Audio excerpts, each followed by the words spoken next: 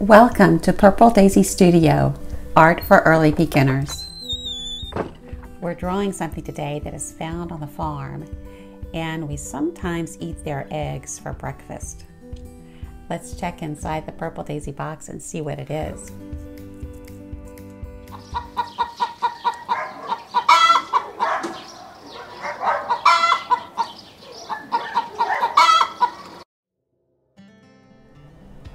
We're drawing a hen. On top of this hen that I've already drawn, and I'm going to first start with the bottom of the hen, and that'll be just a, a U shape,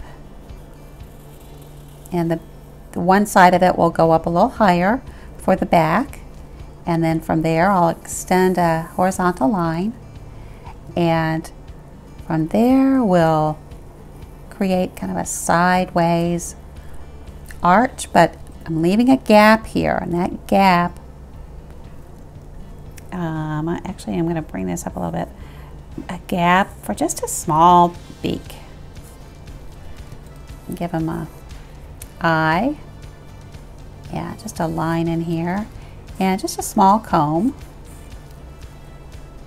and we'll create some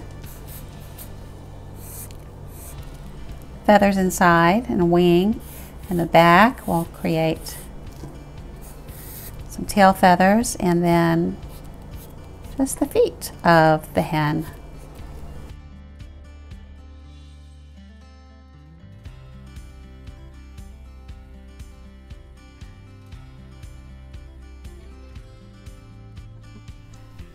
Did you know that chickens have really good memories and they can recognize over a hundred faces? I'll write hen in case you'd also like to write it. H E N hen. Thanks so much for drawing with me today. And if you enjoyed the content of this video, please hit the subscribe button so that you'll be sure to receive all my latest videos. I'll see you next time.